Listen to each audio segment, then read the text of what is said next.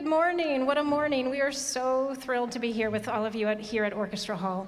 My name is Megan Balda. I'm here with my colleague, uh, Maestro Smith, and uh, we're just so overwhelmed uh, to, to, be here with a live audience and, and with all of our wonderful students. So thank you for your flexibility and, and making this morning possible. We so appreciate it. We know that everyone here has bent over backwards uh, to, to uh, go, th go through all of the processes, and we're just so incredibly grateful. This is the season of uh, Thanksgiving and gratitude, and so I just want to thank our parents, uh, for all that you've done last year, this year, in the coming weeks uh, to support your students, to make sure they have their tests and go through all the health screening. And, and we know it's not easy, and uh, we hope you'll see here today how, how um, much that has paid off. Uh, we're so grateful for our staff and our conductors. You have no idea the, the hoops we have jumped through over the last year and, and this fall to, to uh, keep the music going, and, and we're so grateful for our wonderful team. Uh, music educators, I know there's some here in the audience. We could not do this without you. Your students could not do this without you, so thank you for your tireless work um, uh, with weekly lessons and school orchestras and bands. We have 16,000 alumni in uh, the Gitzies, uh, in the Gitzies community, and many of them are here this weekend as we celebrate our 50th anniversary season. So thank you to our alums as well, and of course our audience members. Our students need uh, need their cheerleaders, so thank you for playing that important part as as we celebrate their achievements. Um, and of course, I want to thank our community of donors who uh, support our programs, who make who make scholarships possible and really believe in carrying out our mission. So um, I also want to acknowledge everybody um, out in the world who is watching through the live stream today. Uh, we're so happy to be able to offer that as an alternative uh, for those who couldn't be here in person for whatever reason. So welcome to our live stream audience. And this season is a very important milestone, as, as Megan alluded to. This is our 50th anniversary, so we are you know, incredibly excited about that. And of course, our return to Orchestra Hall for all of us. I know the students are excited, the conductors are very excited. And uh, it's something we did last year uh, as we could, you know, recording and without an audience, but it's, it's just fantastic to be back. Uh, this morning, we will hear four of the Gitzi's 10 orchestras Sinfonia East and Philharmonic, conducted by Ernesto Estigarribia, Concertino West, conducted by Dan Malik, and then we'll end with Symphony, which I have the privilege of conducting. We at Gitzi's believe in playing a vast variety of repertoire, and so today's repertoire includes tried and true pieces, but also contemporary pieces. Uh, there's an African American composer, we have an Asian composer, we have music from all over. Uh, we have a piece by emerging composer Carlos Lalonde. Um, just a great variety, and, and, it's a really important message and something we, we do very intentionally to really have both, both things going new pieces, underrepresented composers, and then the tried and true. And it's, it's a really important message, I think, for our students and for everybody, frankly. Um, as we launch our 50th anniversary season, we dedicate these concerts to the memory of a very special man, Henry Charles Smith. He was one of Gitzi's co founders 50 years ago, right, uh, uh, who recently passed away. He was a great musician, a great music educator, a wonderful advocate for, for Gitzi's, and just a wonderful supporter throughout his entire career. And so we are very honored to, to be able to honor his memory with these concerts. So I invite you to learn about our Play It Forward campaign in honor of the 50th anniversary. You'll see in the program that this supports the really important work we do, scholarships. We so strongly believe that money should not be a barrier for any student who wants to have the Gitzi's experience. And so we're raising money for artis artistic initiatives, for private lessons, and, and, as I said, for scholarships. It's a really important part of what we do. Symphony, the orchestra you heard last, will be going on tour to Italy, and it's the same, it's throughout the organization that we believe no student should be denied a wonderful educational opportunity because of lack of money. And so please, if, if you are able, please support that, that Play It Forward campaign. It's, it's very, very important for these students here and for the students of the future. So thanks for being here. It's great to see so many people in the hall, and I know everybody's really excited. So we'll see you, we'll see you soon, and please enjoy the concert. Thanks.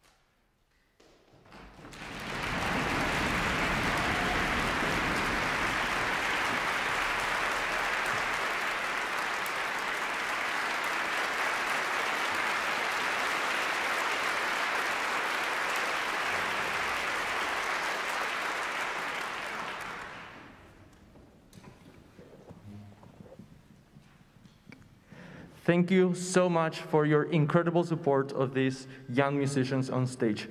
We are Sinfonia East. We are the first level orchestra that combines strings, percussion instruments, wind instruments.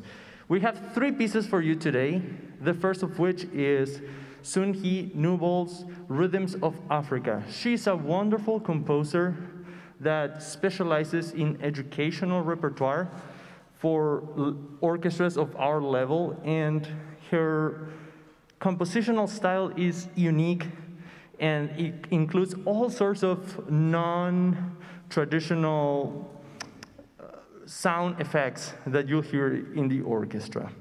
The following two pieces are Tchaikovsky's March from his Symphony Number no. Two, one of his earlier symphonies, and Rimsky-Korsakov, Dance of the Tumblers, which is a lot of fun, and the students on stage enjoy playing it very much. So again, thank you for being here this morning, and enjoy Sinfonia East.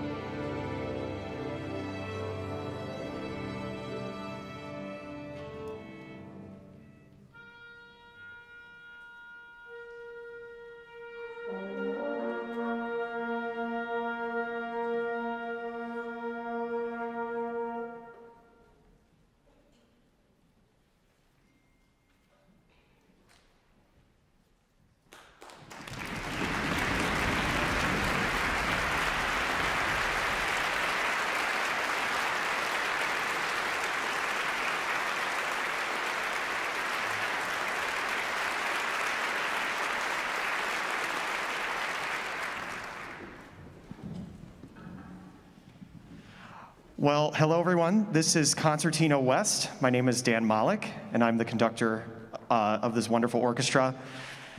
I want to tell you a little bit about our pieces before we play them. Our first piece that we're going to play for you is by the classical composer Franz Joseph Haydn. And this piece has three movements, and we're going to ask that you refrain from your applause until we've played all three movements. Each of these movements has a different character. We've been really working on this in our rehearsals. You're going to hear the first movement is a very vigorous waltz. Our second movement is a very heartfelt, lyrical melody. And then our third movement is very fast, and we want to see if you can hear some laughing, not uh, real laughing, but laughing with the instruments in the third movement. Our second and final piece we'll play for you is the world premiere of uh, our call for scores in 2019. Uh, this composer, uh, his name is Carlos Lalonde, and he was the winner of our call for scores. We were originally supposed to perform this in May of 2019, and you all know what happened. Uh, we were not able to perform that. And so we're very excited to be able to play this piece live uh, with this orchestra today. So uh, we hope you enjoy our two pieces. Thank you.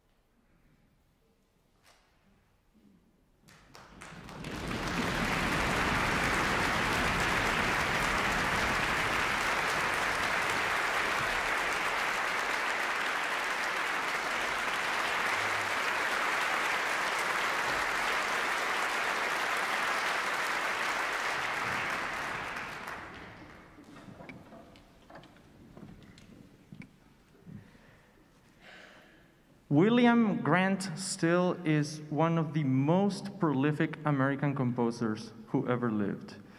The piece that we're going to play for you is his first symphony, The Afro American. We're going to play the second, third, and fourth movements. And when he wrote this in the 1930s, you can imagine really tough times in the world, he found inspiration in poems by Paul Dunbar, Paul, Paul Laurence Dunbar. And the themes of the poems had to do with emancipation, had to do with the hardships of slavery. In fact, Dunbar was the son of enslaved, uh, was the son of slaves from Kentucky. The second movement is a slow, sorrowful movement where you hear a lot of prominent wind solos. The third movement, interestingly, is humorous, and you'll hear a particular tune at, at, the beginning of it, and you might recognize it, is the I Got Rhythm by George Gershwin, or shall we say, perhaps William Grant Still. There is a big controversy about the authorship of that, of that tune, and we won't get into it, but uh, William Grant Still included it in this piece for a reason. And what is interesting is it only appears at the beginning of the movement. The fourth movement is divided in two segments. The first segment is kind of like a church chorale and evolves into this scherzo-like fast music where you're gonna hear, uh, you know, interjections from all sides of the orchestra that culminates in this glorious church chorale that just realizes the, the glory of emancipation.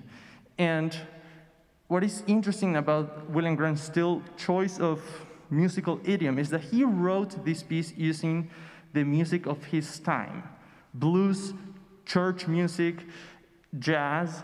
So that would be the equivalent of a composer today writing a symphony, say, in hip hop style or rap or reggaeton. So it's unique to use the music of its time to portray a serious work like a symphony. So please enjoy Symphony Number One, The Afro American by the excellent composer William Grant Still.